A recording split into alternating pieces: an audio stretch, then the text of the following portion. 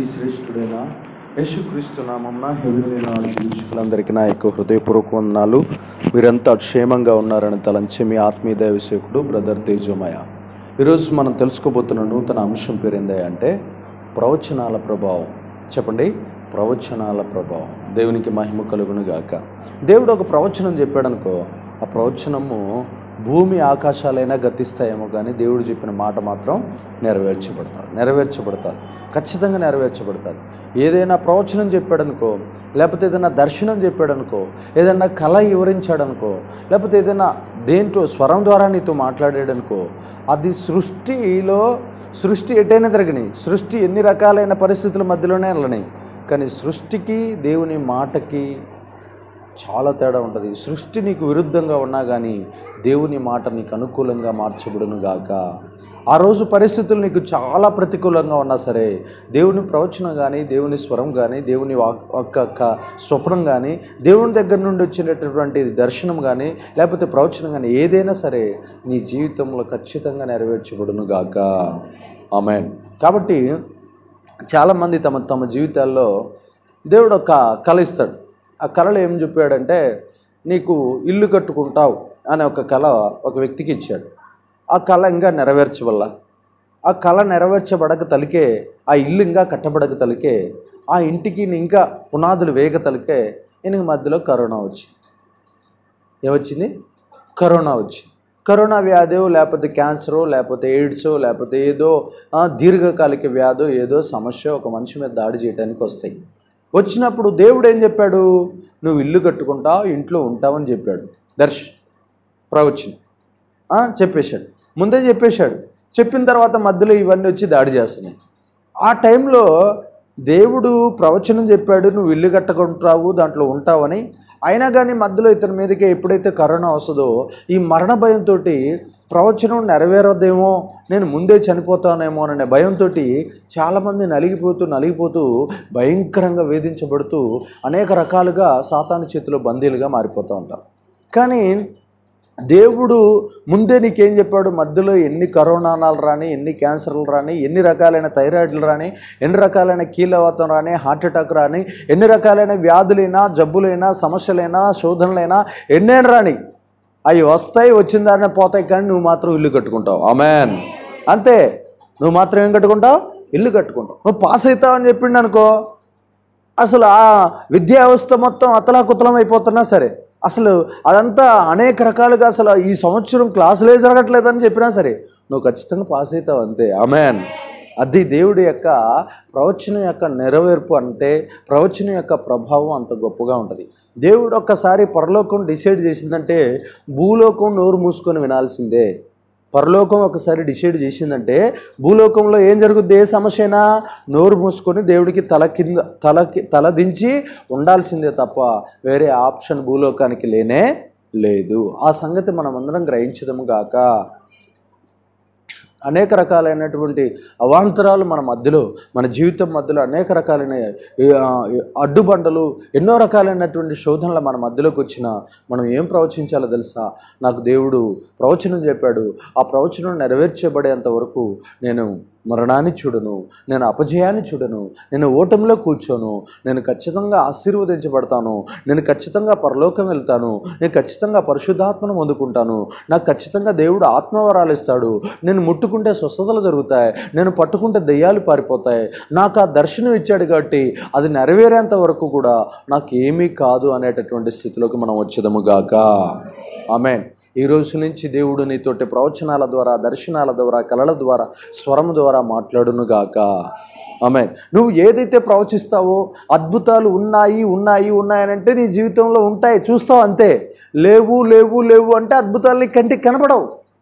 నువ్వేమైపోతావు అంటే నువ్వు మనస్సాక్షి వాత వేయబడిన మనసాక్షిగా మారిపోతుంది అప్పుడు నీ జీవితం ఏమైతే తెలుసా? నువ్వు ఏ అద్భుతాన్ని నీ కళ్ళతో చూడలేవు. నువ్వు ఏదైనా అద్భుతాలు చూడాలని అంటే నువ్వు ఖచ్చితంగా బైబిల్లో ఉన్న ప్రవచనాలు నమ్మాలి దర్శనాలు నమ్మాలి కళలు నమ్మాలి అద్భుతాలు నమ్మాలి సూచక్రియలు నమ్మాలి దేవుడు చేసిన ప్రతి ఒక్కటి దెయ్యాలు ఎలగొట్టడం నమ్మాలి ఆత్మను పొందుకోవటం నమ్మాలి ఆత్మ వరాలు నమ్మాలి ప్రవచించడం నమ్మాలి ఆ తర్వాత కార్యాలు నూతనమైన కార్యాలు సువార్త ద్వారా ఆత్మలు రక్షించబడేది చూడాలి. వీటన్నిటిని మనం చూస్తాం. కానీ నువ్వు నమ్మలేదనుకో ఆ తలుపు దేవుడు మూసేస్తాడు. అప్పుడు నీ కన్నులకి ఎలాంటివి కనపడవు ఈ సృష్టిలో. దానివల్ల సాతాను నిన్ను భయంకరంగా వాడుకుంటాడు వేధిస్తాడు శోధిస్తాడు. కానీ ఎవరైతే ఆత్మపూర్ణులు నేను బైబిల్లో ఉన్న ప్రతిదాన్ని నమ్ముతానంటారో నమ్మిన ప్రతి ఒక్కరికి సూచక్రియలు కనబడునుగాక.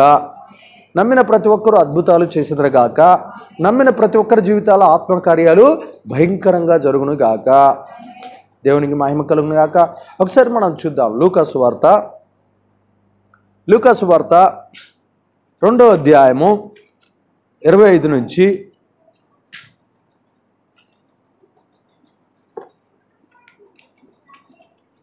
లుకస్ వార్త రెండో అధ్యాయము.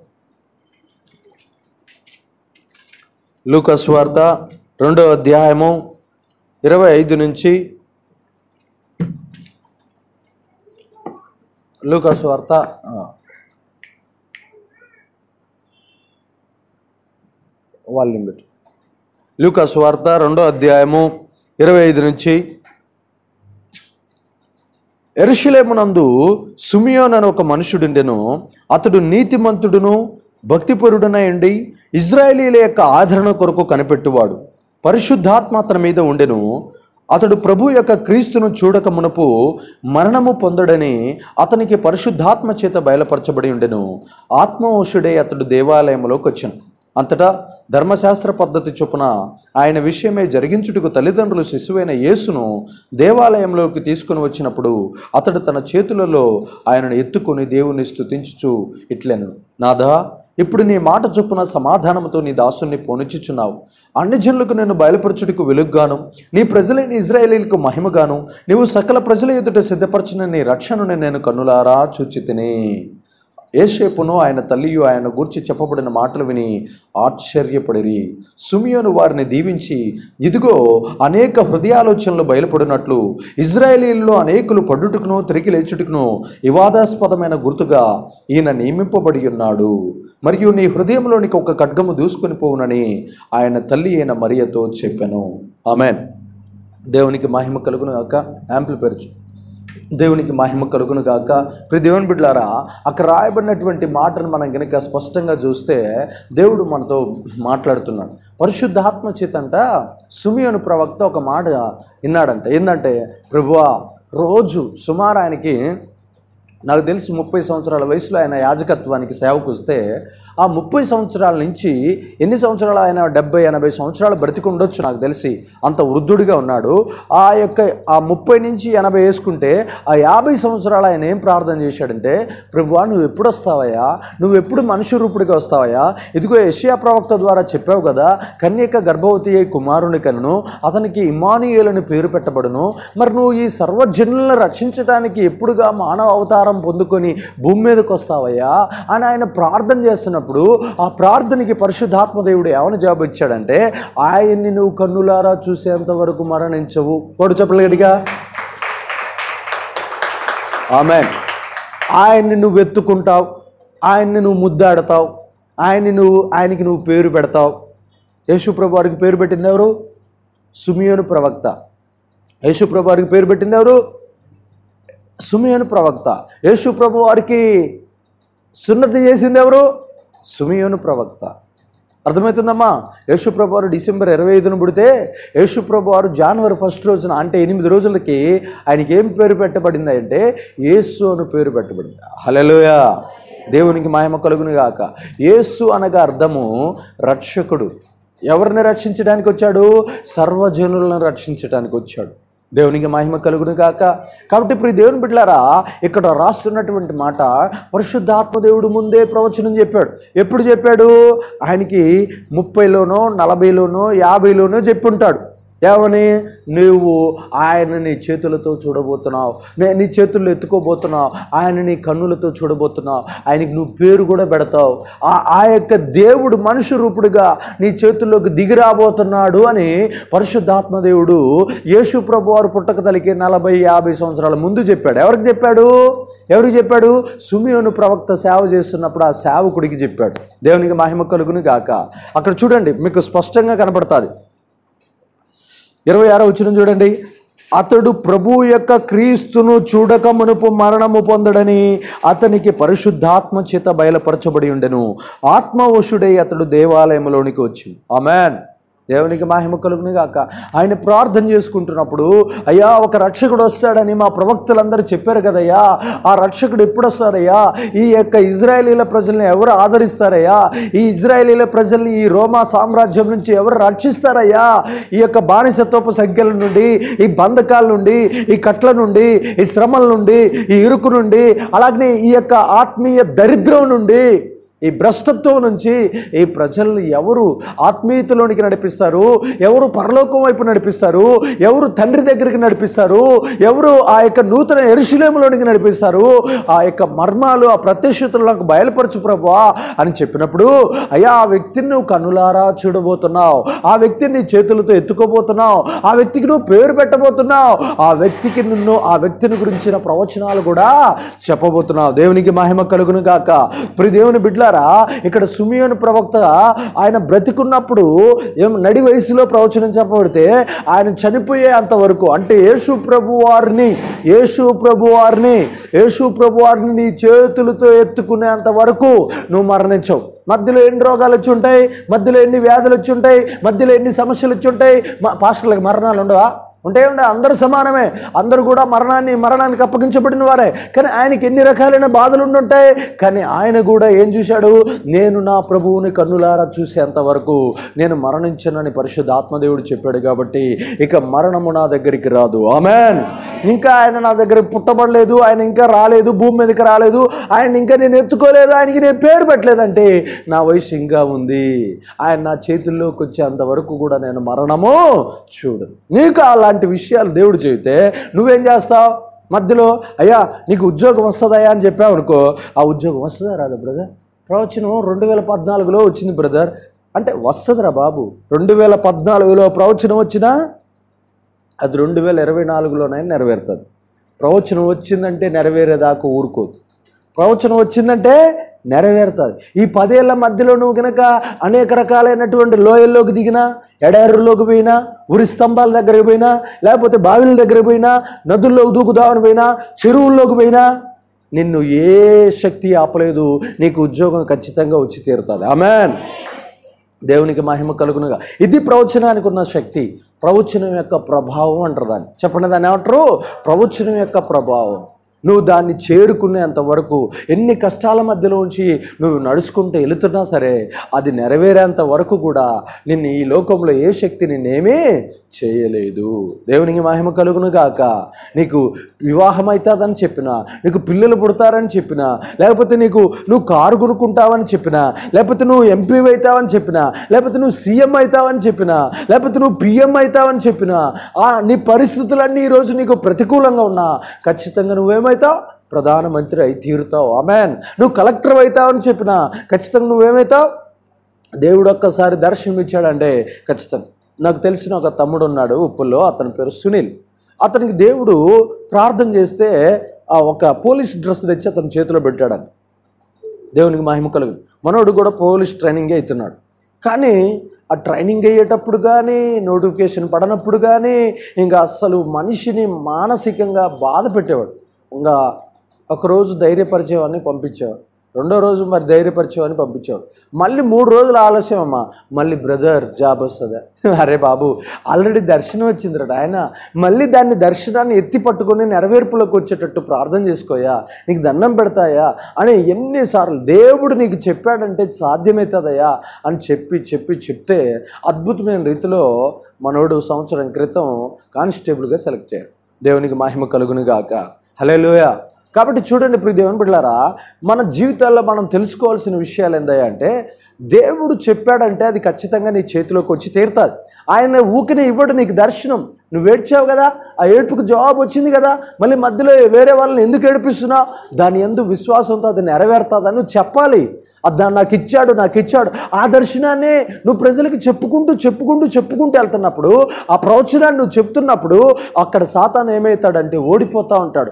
ఆ ప్రవచనం నీకు వచ్చినా కానీ నువ్వు లోపల పెట్టుకొని పైకి కుమిలిపోతున్నావు అంటే నీ శత్రువులు నిన్ను వేధిస్తూ ఉంటారు నీకు జాబ్ రాదురా నువ్వు పనికిరావురా నువ్వు వేస్ట్ గాడివిరా అని అంటూ ఉంటారు. అన్నా కానీ నువ్వేం చెప్పాలి? లోపల ఉన్న దాన్ని బయటికి తీయాలి. బయటికి తీయకపోతే ఆలస్యం అవుతా ఉంటుంది. ఈ సంవత్సరం రావాల్సిన జాబు నెక్స్ట్ ఇయర్ వస్తే అక్కడ డ్రెస్ ఇచ్చాడు పోలీస్ డ్రెస్సు కానీ ఎప్పుడు ఇచ్చాడో డేట్ చెప్పలేదుగా. కానీ నీ విశ్వాసం లేకపోతే అది ఏమవుతుంది పోస్ట్ పోన్ పోస్ట్ పోన్ అయిపోతుంది. వస్తుంది.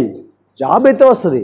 కానీ ఆలస్యం అయితే కానీ నువ్వు కనుక బయటికి తీసి చెప్తే అది తొందరగా వచ్చి నీ మీద వాలిపోను గాక. ఆ డ్రెస్ నీ ఒంటి మీదకి వచ్చును గాక. ఆమె కాబట్టి ఇప్పుడు దేవుని బిడ్డలారా నీ జీవితంలోనైనా నా జీవితంలోనైనా సుమియోను ప్రవక్త ప్రార్థన చేశాడు. మనం ప్రార్థన చేయటం ఆపకూడదు. ప్రార్థన చేయటం ఆపకూడదు. ప్రార్థన చేయకుండా మనం ఆగితే దర్శనాలు ప్రవచనాలు ఆగిపోతాయి.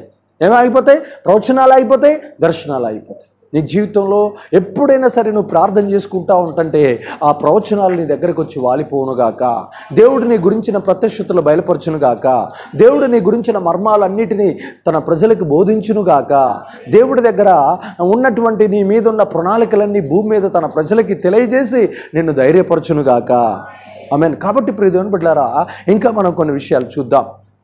లూకస్ వార్త ఒకటో అధ్యాయము ఇరవై వచ్చినం లూకస్ వార్త ఒకటో అధ్యాయము ఇరవై వచ్చినం మరియు నా మాటలు వాటి కాలమందు నెరవేరును.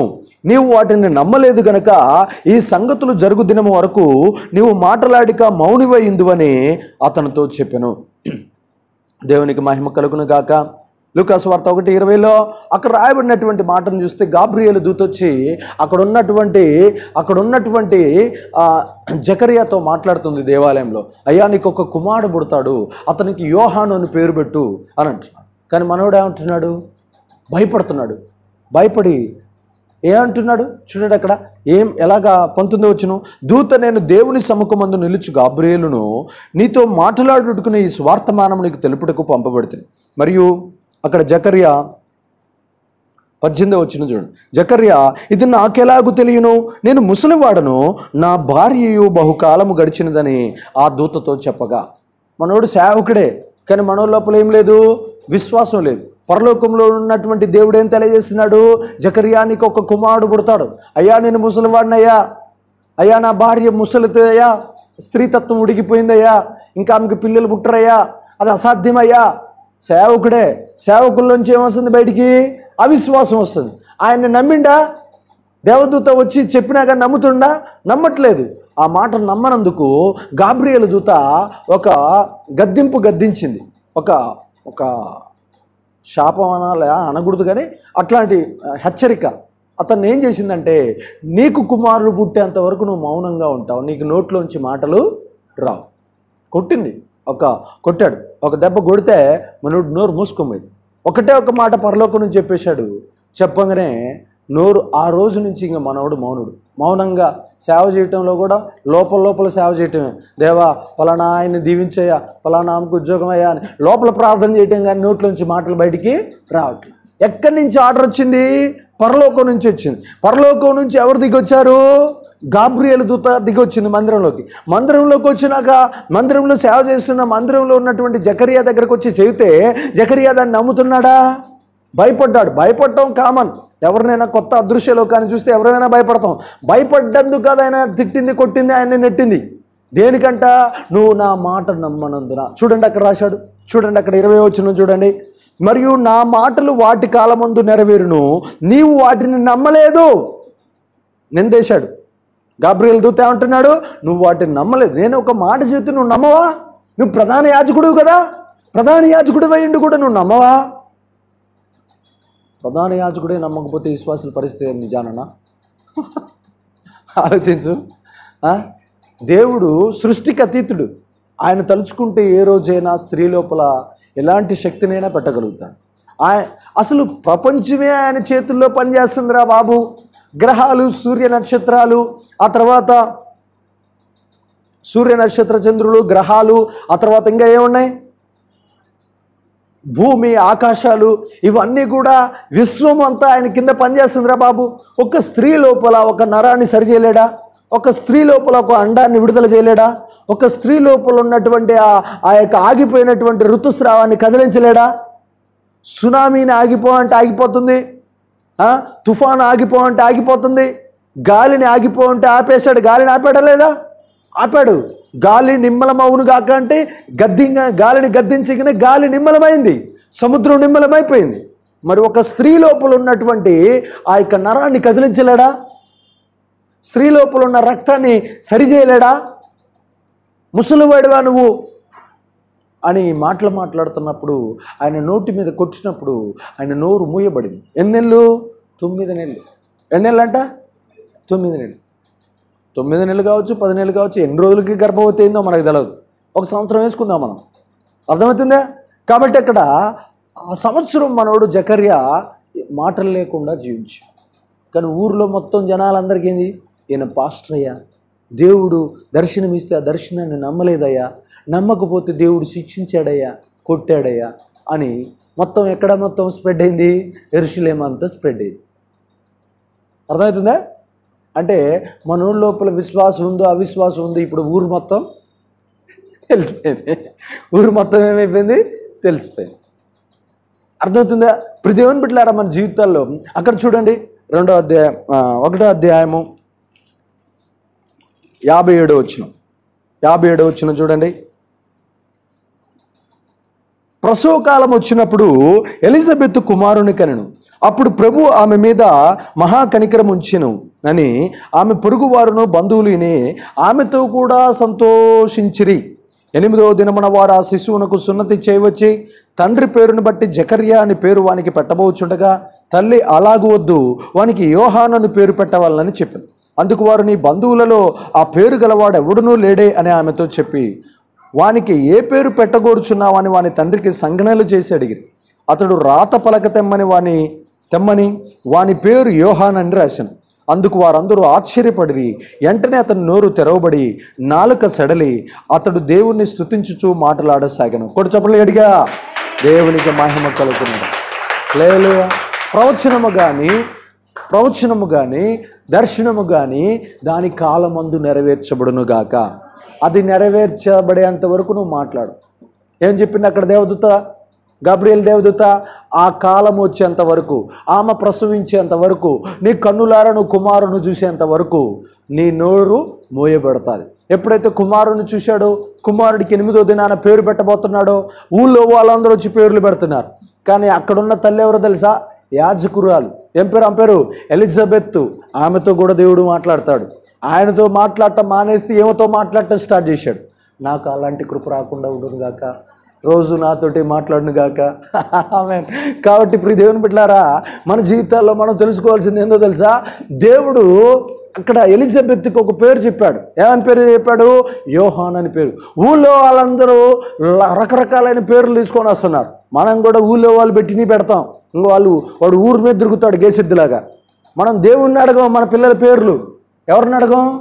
దేవుణ్ణి అడగం మనం పేర్లు. ఎవరిని అడుగుతాం? ఊళ్ళో వాళ్ళు పక్కింటి వాళ్ళు సినిమా పేపర్లు స్వాతి పుస్తకం. వాటిల్లో తీసి పెడతాం మన పిల్లలు. అప్పుడు మన వాళ్ళు ఏమవుతారు రియా చక్రవర్తి ప్రియాంక చోప్రా తర్వాత ఎవరైతారు? ఇంకా ఏమవుతారు? మిస్టర్ రాజా ఇంకా జాన్ అబ్రహాం వాళ్ళైతారు.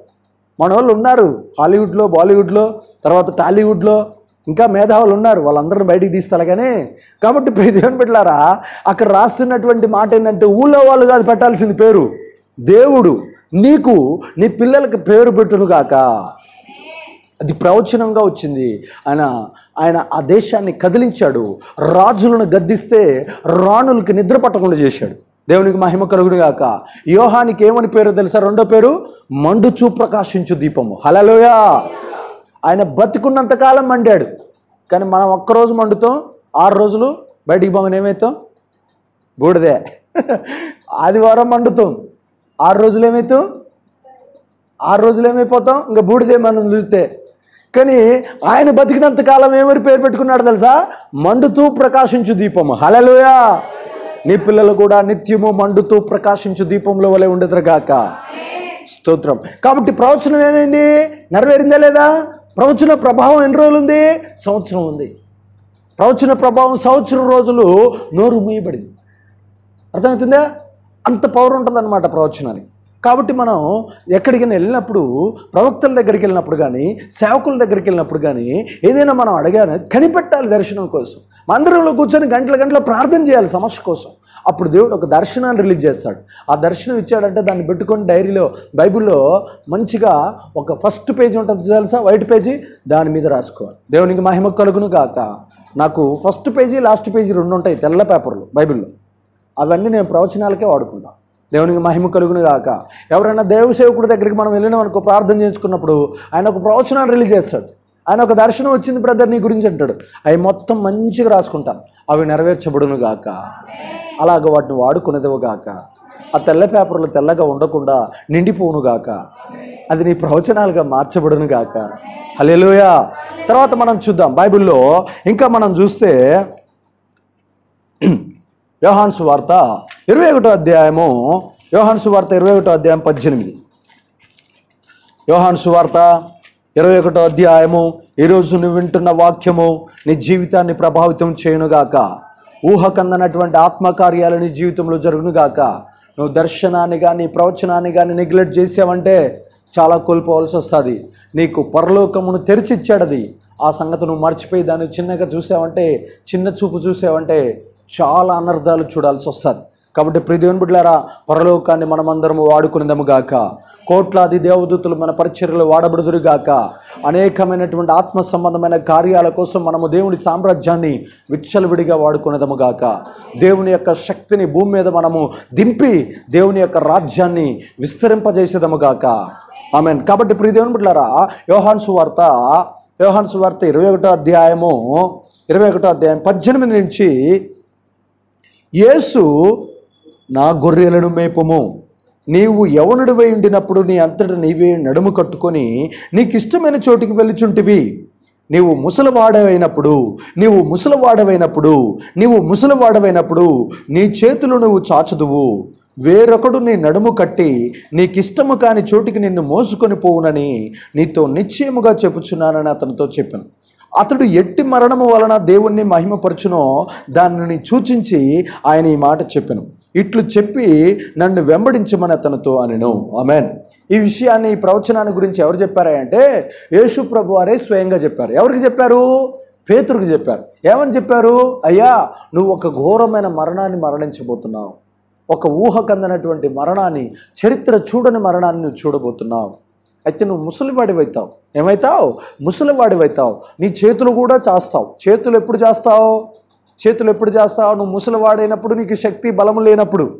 నువ్వు చేతులు చాచెదవు. అంటే చేతులు చాచెదవు అంటే అర్థం ఏందో తెలుసా? నువ్వు సిలువు వేయబడదవు. ఏమవుతావు సిలువు వేయబడతావు.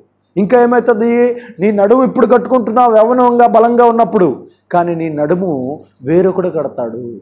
అంటే సైనికులు వచ్చి నీ నడుమును కట్టాల్సిన పరిస్థితి వస్తుంది. అంటే ఆయన మరణము ఎలాగుండబోతుందో దేవుడు చెప్తున్నాడు.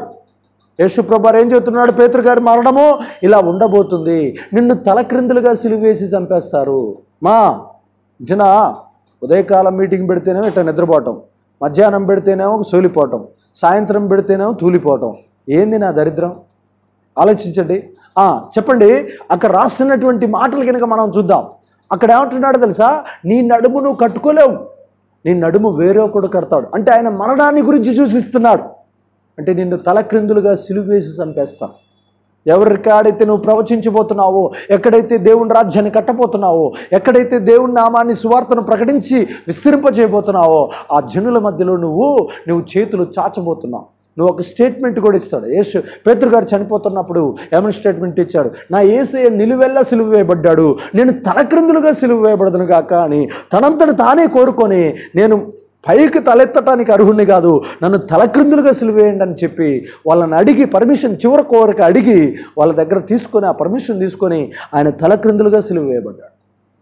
ఆయన నడుము ఆయన ఆయన సిలువ వేసి చంపేసినప్పుడు ఆయన చేతులు చేసి యేసుప్రభు వారు ఎలా అయితే చచ్చిపోయాడు సేమ్ అంతే. ఆయనేమో నిలువుగా చనిపోయాడు ఈయనేమో అలాగ చ తలక్రిందులుగా చనిపోయాడు. ఈయనకు కూడా దెబ్బలు ఉంటాయి ఈయనకి అన్ని రకాలైన శిక్షలు ఉంటాయి ఎన్నో రకాలైనటువంటి యేసుప్రభు వారిని ఎలాగ కొట్టి వేధించి శోధించి బంధించి ఆయన చేశారో అలాగనే పేతురు గారు కూడా చనిపోయాడు అంటే ఆయన మరణాన్ని ముందే ఆయనకి ఎప్పుడు? నలభై సంవత్సరాలప్పుడు యేసు ప్రభు వారు ఆయనకి ప్రవచనం చేస్తే ఆయన ఎన్ని సంవత్సరాలప్పుడు? సుమారు ఒక ఇరవై సంవత్సరాలు పరిచయం చేసి ఉండొచ్చు. ఆ ఇరవై సంవత్సరాల మధ్యలో ఆయన చనిపోయి ఉండొచ్చు.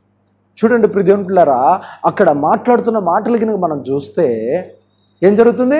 ఆయన మరణాన్ని ప్రవచించాడు. అప్పుడు ఆయన ముసలివాడయ్యాడో లేదో మనం పేతురు రాసిన రెండో పత్రిక చూద్దాం.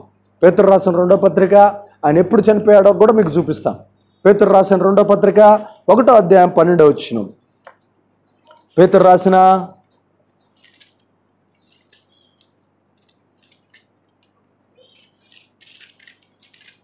రెండవ పత్రిక ఒకటో అధ్యాయము పన్నెండు నుంచి పద్నాలుగు వచ్చినాలు చదువుకుందాం.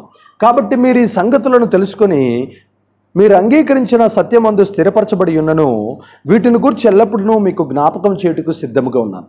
మరియు మన ప్రభు అయిన యేసుక్రీస్తు నాకు సూచించిన ప్రకారం మన ప్రభు అయిన యేసుక్రీస్తు నాకు సూచించిన ప్రకారం. సూచించాడా లేదా? మరణాన్ని సూచించాడా లేదా? సూచించిన ప్రకారము నా గుడారమును త్వరగా విడిచిపెట్టవలసి ఉందని ఎరిగి నేను ఈ గుడారంలో ఉన్నంతకాలం ఈ సంగతులను జ్ఞాపకం చేసి మిమ్మల్ని రేపుట న్యాయమని ఎంచుకొనుచున్నాను. నేను మృతి పొందిన తర్వాత మీరు కూడా నిత్యము వీటిని జ్ఞాపకము చేసుకున్నట్లు జాగ్రత్త చేతును. ఏలయనగా చమత్కారంగా కల్పించిన కథలను అనుసరించి మన ప్రభు అయిన యేసుక్రీస్తు యొక్క శక్తిని ఆయన రాకడను మేము మీకు తెలపలేదు కానీ ఆయన మహత్యమును మేము కన్నులారా చూసిన వారమైతేమని తెలిపితిమి. అమెన్ దేవునికి మహిమ కలుగును గాక. ప్రతి దేవుని బిడ్డారా ఇక్కడ రాస్తున్నటువంటి మాటలు కనుక మనము స్పష్టంగా చూస్తే చూడండి ఆయన నేను గుడారంను విడిచిపెట్టవలసి ఉన్నది అని చెప్తున్నాడు.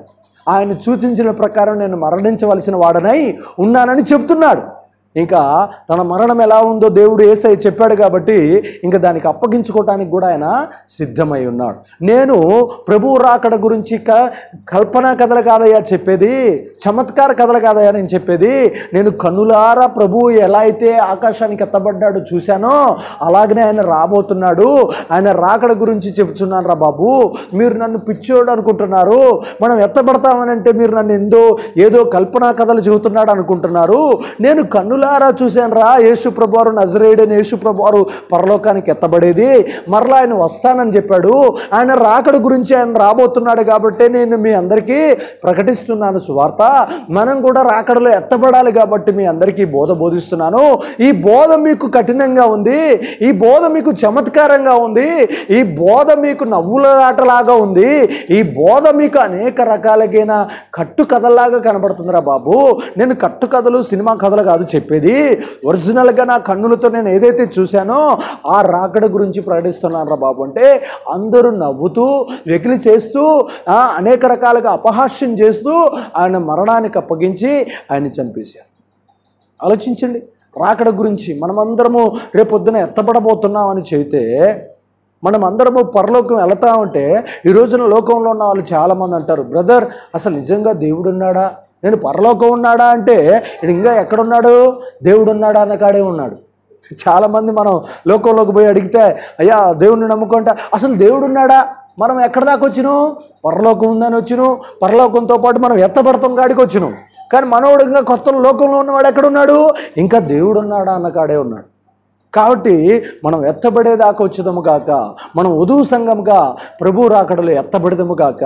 దేవుని ఆత్మను పొందుకొని దేవుని ఆత్మ వరాలు కలిగి ప్రజ్వరిల్లుతూ దేవుని యొక్క ప్రవచనాలు మనకు చెప్పినప్పుడు వాటిని రాసుకొని ప్రభు రాకడ ఎప్పుడో కనిపెట్టుకొని దానికోసం మనం సిద్ధపరచబడి ఉండేదము గాక.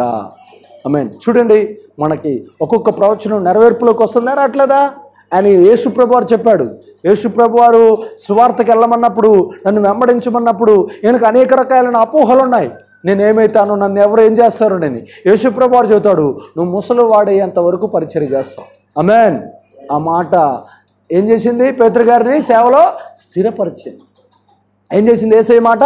స్థిరపరిచింది. ఓహో అంటే నేను ముసలివాడేంత వరకు పరిచర్లో ఉంటానన్నమాట అంటే ఇంక మనోడు ఇంకా ఎట్లా పరిచర్య చేశాడో తెలుసా? షేక్ చేశాడు అనమాట ఎరుషులేం పట్టణాన్ని. ఒక మెసేజ్ ఇస్తే మూడు వేల మంది బాప్తీసం తీసుకుంటారు. ఒక మెసేజ్కి ఎంతమంది? మూడు వేల మంది బాప్తీసం తీసుకుంటారు. ఒక మెసేజ్కి చెప్తే ఐదు వేల మంది వేసి అంగీకరిస్తారు. ఒక మెసేజ్ ఇస్తే పేదరుగారు మెసేజ్ ఇస్తే ఐదు వేల మంది ఏసైని అంగీకరిస్తారు అంతే. అమాన్ ఆయన కోకొల్లలు బాప్తీసాలు ఇచ్చాడు. ఎంతమందికి ఇచ్చాడో మనకి తెలవు కానీ ఒకసారి మూడు వేల మందికి ఒకసారి ఐదు వేల మందికి ఇచ్చినట్టు మనకి బైబిల్లో కనపడతాను కానీ ఇంకా ఎన్ని వేల మందికి ఇచ్చాడు ఎన్ని ప్రత్యక్షతలు పొందాడు ఎన్ని ప్రాంతాలు తిరిగాడో ఎలాంటి కార్యాలు చేశాడో అవి మర్మమై ఉన్నాయి మనం వాటిని స్టడీ చేస్తే తెలవబడును కాక ఐ మీన్ కాబట్టి ఇప్పుడు దేవుని బిడ్డలారా మన జీవితాల్లో దేవుడు ఒక ప్రవచనం చెప్పినప్పుడు ఆ ప్రవచనం ఏం జరుగుతుంది? నెరవేర్చబడతారు నా జీవితంలో నేను పెళ్ళి చేసుకున్న తర్వాత నాకు పిల్లలు లేరు. లేనప్పుడు దేవుడి దగ్గర కనిపెట్టాను ప్రభువు నాకు చెప్పాడు నీకు సంతానం ఉందిరా బాబు నీ పిల్లల పిల్లలు నాకు సేవ చేస్తారా బాబు అని చెప్పాడు. కానీ పక్కనుండి నమ్మడే ఒక్కడు కూడా నమ్మడే నేను చెప్పిన అసలు నువ్వు నిజంగా ఇదేనా? అన్నట్టుగా చూస్తారు. ఒరే ఒరే నిజమరా నాయన నిజమయ్యా నాకు నాకు ఇస్తానని చెప్పాడయ్యా అంటే ఊళ్ళోకి పోవటం ఆలస్యం.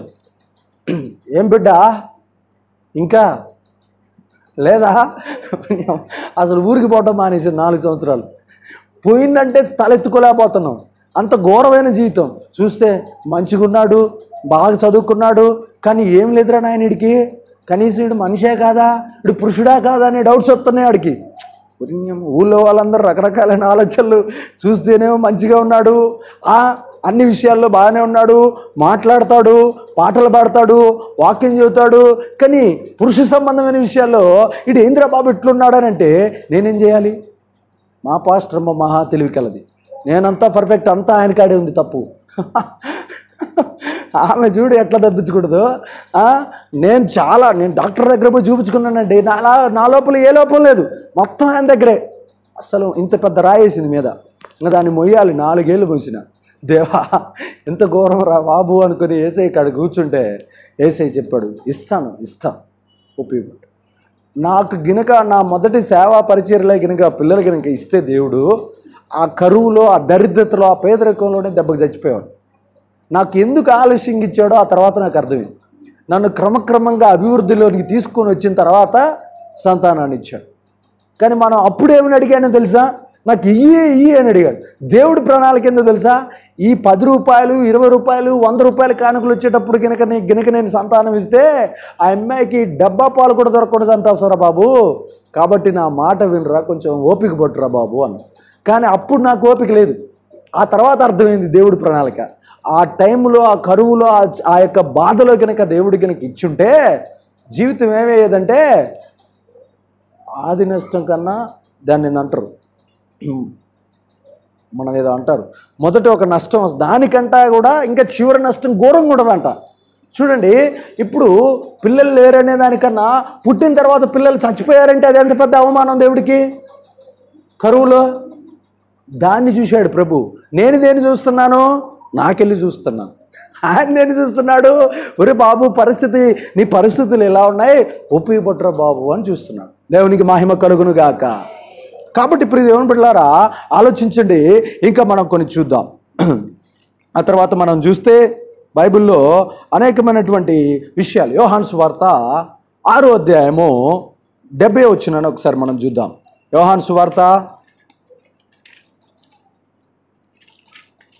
ఆరో అధ్యాయము డెబ్బై వచ్చిన. యోహాన్స్ వార్త ఆరో అధ్యాయం డెబ్బై వచ్చినాం.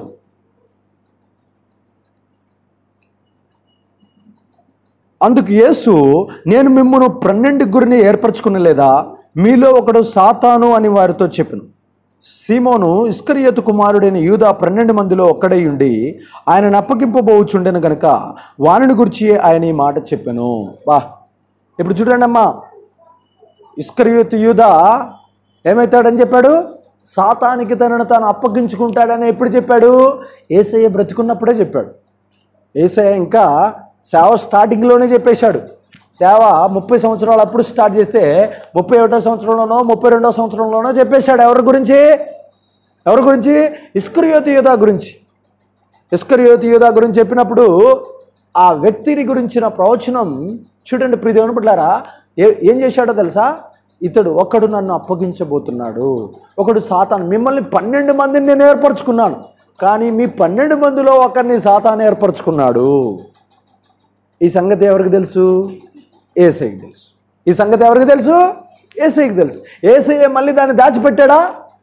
దాచిపెట్టాడా? దాచిపెడితే సరి చేసుకుంటాడా?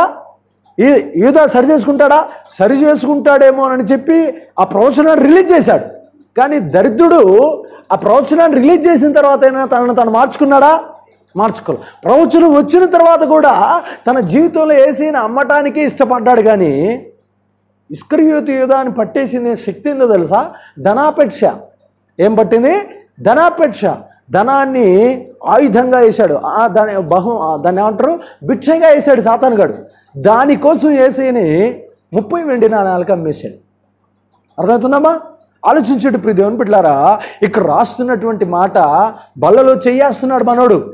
నెలకోసారో వారానికోసారో రోజు ఒకసారో ఆ రోజు ఆది దినము ఆ ఆది అపుస్తుల కాలంలో ఆ యేసుప్రభు వారి దినాల్లో మొదటి శతాబ్దంలో ప్రతిరోజు బల్లారాధన ఉండేది.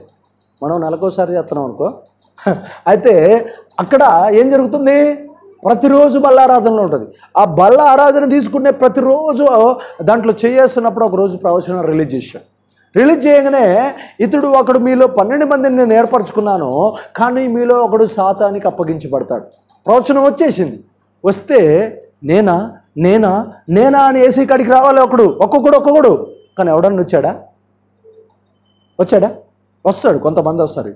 యోహాన్ గారు పేతురు గారు పాపం కొంతమంది వచ్చి ప్రభువుని అడుగుతారు అయ్యా నేనా నేనా? అని అడిగినప్పుడు ఈ ఇప్పుడు రొట్టె మునక తీ- ఈ రొట్టె తీసుకొని తినబోతున్న వాడని కూడా ఒక సూచన ఇస్తాడు అప్పుడే మనోడి దగ్గరికి రొట్టె పోతుంది అది తినిసుకోబోతున్న టైంలోనే చెబుతాడు అన్నమాట.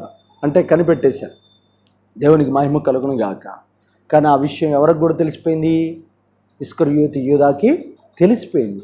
తెలిసిపోయిన తర్వాత దేవుడు తన మనసును రివీల్ చేసిన తర్వాత ప్రత్యక్షపరిచే ప్రత్యక్షపరిచిన తర్వాత ఇస్కర్ యూత్ యూదా మారాడా? మారాడా? మారలేదు. వై? ఎందుకు మారలేదు? ఎందుకు మారలేదు? అతను ఆల్రెడీ అప్పగించబడ్డాడు. ఎవరికి అప్పగించబడ్డాడు? సాతానికి అప్పగించబడ్డాడు. చూద్దాం. ఇంకా మనం చూద్దాం. లూకాస్ వార్త ఇరవై రెండు అధ్యాయం మూడో వచ్చినాం లూకాస్ వార్త లూకాస్ వార్త ఇరవై రెండో అధ్యాయము మూడో వచ్చిన లూకాసు వార్త ఇరవై రెండో అధ్యాయము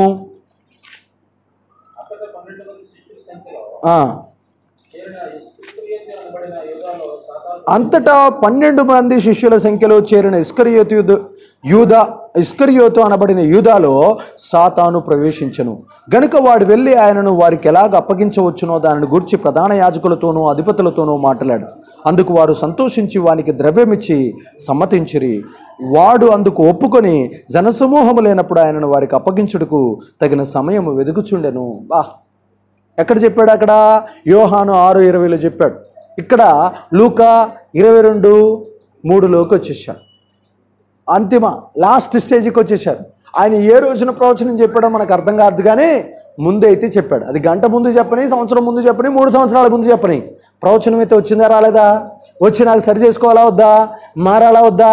మార్మనసు పొందాలా వద్దా? ప్రభువు కాళ్ళు పట్టుకోవాలా వద్దా? ఈరోజు కనబడని ప్రభు కాళ్ళు పట్టుకుంటేనే మనకు పరలోకం ఇస్తున్నాడు. ఆ రోజు డైరెక్ట్గా ఉన్నాడు అక్కడ ఏసయ్య. ఆ రోజున ఆయన కాళ్ళు పట్టుకొని ఏడిస్తే ఒప్పుకోడా? మరి ఏం పోగొట్టుకున్నాడు? కృపను పోగొట్టుకున్నాడు. ఏం పోగొట్టుకున్నాడు? స్వయంగా జీవాధిపతి సర్వలోకానికి సృష్టికర్త అయినటువంటి యేసు ప్రభు వారే భూమి మీద సజీవుడిగా సశరీరుడితో ఉన్న దినాలలో ఇస్కరియోతు యూదా ఉన్నాడు ఆయన కాళ్ళ మీద పడి రెండు కన్నీళ్ళు బుట్లు గారిస్తే దెబ్బకు పరలోకం వచ్చేది. కానీ ఏం చేసుకున్నాడు? పోగొట్టు ప్రవచనం నెరవేరిందా లేదా? ప్రవచనం నెరవేరింది మీలో ఒకటి సాతాని చేత అప్పగించబడదు కొంతమందికి సంఘానికి వచ్చినప్పుడు కూడా నేను కొన్ని కొన్ని సంఘాతలు చెప్తాను అమ్మా అమ్మా సంఘాలను చీల్చగాకండి అమ్మా మీ గురించి చెడ్డ వార్తలు వస్తున్నాయి నాకు. అమ్మా పలానా వాళ్ళ మీద ఇట్లా చేస్తున్నారు అట్లా చేస్తున్నారంటమ్మా మార్చుకోండి అమ్మా అని ప్రవచనాలు దర్శనాలు చెబుతూ ఉంటారు నాకు తెలిసిన మాకు తెలిసిన మా ఊర్లో ఒక ఆమె స్టోరీ మీకు చెబుతాం. అత్త ముసల్ది అత్తని వేధించి వేధించి వేధించి అన్నం పెట్టి పెట్టకుండా చంపేసి. అర్థమవుతుందమ్మా? చంపేసిన తర్వాత దేవుడు ఊరుకుంటాడా? అత్తని ప్రేమగా చూసుకోవాలి. ఆమె ఆస్తి ఇచ్చింది పొలం ఇచ్చింది తాళం చేతులు ఇచ్చింది కానీ ఆమెను మాత్రం వేధించి వేధించి ఆమెను తిట్టుకుంటూ చంపేసింది. ఈ రోజున ఆమె పిల్లలకి గుండెలో హోల్ ఉంది. పుట్టిన పిల్లలకి ఏముంది గుండెలో? హోల్. ఈ రోజున అప్లిగాడ్ ఆపరేషన్ గుండెలో హోల్. బతికితే బతుకుతాడు లేకపోతే లేదు లేకపోతే తల వాస్తూ ఉంటుంది గుండె చిన్నదైతూ ఉంటుంది. శరీరం మొత్తం సన్నగా ఉంటుంది తల మాత్రం ఊరుతూ ఉంటుంది. చదువు మాత్రం రాదు. ఇప్పుడు ఆ రోజున ఆ అత్తని చూడనందున ఈ రోజున ఎన్ని రోజులు శిక్షణ మోస్తుంది? అర్థమైందా? స్కేల్ బాగేశాడా? స్కేల్ ఏమేశాడు ఆ రోజున ఎవరో బలం తీసుకుంది బంధువుల బలం చుట్టాల బలం ఆమె సింగిల్ ముసలిది. ఆమెకు బలం లేదు. ఏమో బలం మొత్తం వాడింది ఊర్లో వాళ్ళ బలం మొత్తం వాడింది ఈరోజు దేవుడు దాన్ని చూశాడు. చూసి ఏం చేశాడు? ఆమెను తీసుకుపోయాడు ఆమె దారిన. ఇప్పుడు ఏమో మీద పడ్డది కేసు. ఏంది? ఇంకా జీవితాంతం ఇప్పుడు వచ్చి దొంగ ప్రార్థన. అయ్యా! ప్రార్థన చేయ అయ్యా. ఉందయ్యా. నువ్వు ఆ రోజు ఆమెను పువ్వుల్లో పెట్టుకొని చూసుకుంటే ఈరోజు నీ పిల్లలు ఏమయ్యేవాళ్ళు? పువ్వుల్లో పెట్టుకొని చూసుకునేవాళ్ళు. వాళ్ళు నా బంధువులైనా సరే పాపం అయితే బయటికి దిగ తప్పదు. నాకు సొంత అయితే ఆమె. కానీ నేను దాచిపెట్టకూడదు. నాకు సొంత డాష్. అనుకోండి బంధువు. అయినా కానీ వేధిస్తూ ఊరుకుంటాడా? ఊరుకోడు. ఆలోచించడు ప్రియదేవుని బిడ్డలారా ఈ జీవితంలో మరలా చూస్తున్నాను చదువు రాదు. పిల్లలతో ఆడుకోలేడు. గట్టిగా తినలేడు. ఏమి చేయలేడు. ఎందుకు ఈ వేదన? నీకు దే మనుషుల్ని వేధిస్తే ఊరుకుంటాడా దేవుడు? నువ్వు అనుకుంటున్నా నన్ను ఎవరూ చూడట్లేదని. కానీ పైన చక్రవర్తి చూస్తున్నాడు. తాట తాట తాట తీస్తాడు. ఒక్కను కూడా విడిచిపెట్టడు. నువ్వు ఈ రోజున భక్తి వేషంలో భక్తి ముసుగులో హోలీ కొంగులు వేసుకొని తెలివితేటలు ఉపయోగిస్తే నీ హోలీలో అనుహోలీ ఉన్నదన్న సంగతి ప్రభు కనిపెడితే నీ నారం నీ లోపల ఉన్న నరాలలో ఉన్నటువంటి ఆ ఆ యొక్క ఆ బలాన్ని కూడా తీసి ఏడిపిస్తాడు. నువ్వు ఎప్పుడు జీవితాంతం ఏడుస్తావు తెలుసా? నిన్ను కొట్టిన ఏడవు కానీ నీ పిల్లల్ని కొట్టాడు అనుకో జీవితాంతం ఏడుస్తావు. జాగ్రత్త తప్పులు చేయటం మానేయి. మనుషుల్ని ప్రేమించడం నేర్చుకో. వృద్ధుల్ని గౌరవించడం నేర్చుకో. కుటుంబంలో వారిని దేవుడు పుట్టిస్తే పుట్టించారు. నువ్వు నువ్వేదో ఆయన నాకు అనవసరంగా దొరికాడు నేను అనవసరంగా వచ్చాడు నేను ఇంట్లోకి వచ్చాను అని నువ్వు వాళ్ళ మీద వీళ్ళ మీద శాపాలు పెడితే ఆ శాపం మళ్ళీ రివర్స్ నీకాడికే వస్తుంది. ఆయనకి తెలవదు అనుకుంటున్నావా? నీకు ఇలాంటి భర్త దొరకాలని ఆయనకు తెలుసు. నువ్వు ఆయనకు భారం అవుతావని ఆ సంగతి నీకు తెలుసు. ఆయనకి తెలుసు. నీకు కూడా తెలుసు. మళ్ళీ తెలిసి చేసుకున్నావు. చేసుకున్న తర్వాత ఏమో మళ్ళీ ఇట్లా మాట్లాడుతున్నావు. ఆలోచించుకో. కానీ ప్రార్థన చేయి మారుతారు. ప్రార్థన చేస్తే మారుతారు. ఎంత కఠినాత్ముడైనా మారి బాప్తీసం తీసుకున్నాను గాక. ఎంత భయంకరమైన వ్యక్తి అయినా మళ్ళీ పరుగులు పెట్టుకుంటూ నీ ప్రార్థన శక్తితో మళ్ళీ ఆ ఇంటిని కట్టునుగాక మళ్ళీ ఆ భార్య కూడా మారి మారు మనసును పొంది నీ పాదాల దగ్గర కూర్చుండునుగాక అమేన్ కాబట్టి ప్రియ దేవుని బిడ్డలారా ఎందుకు చెబుతున్నాను తెలుసా? వాస్తవ ప్రపంచాన్ని చూస్తున్నాను వాక్య ప్రపంచాన్ని చూస్తున్నాను. వాక్య ప్రపంచం తెలుసుకోవాలి వాస్తవ ప్రపంచాన్ని చూసుకోవాలి. ఈ రెండింటికి చాలా డిఫరెంట్ ఉంటుంది.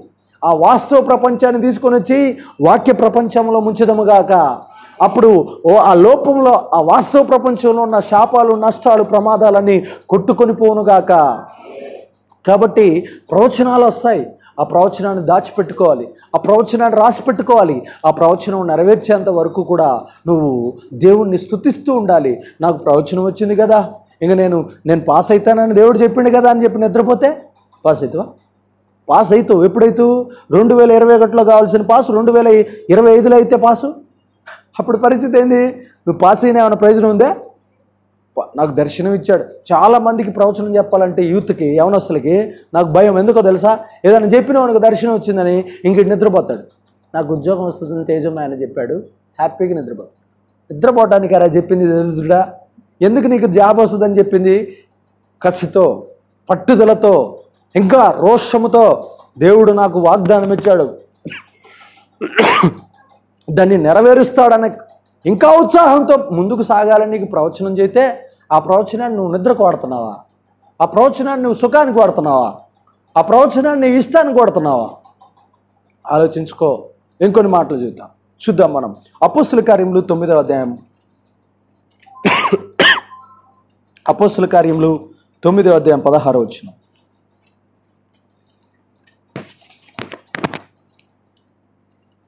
అపోస్తుల కార్యములు ఆ,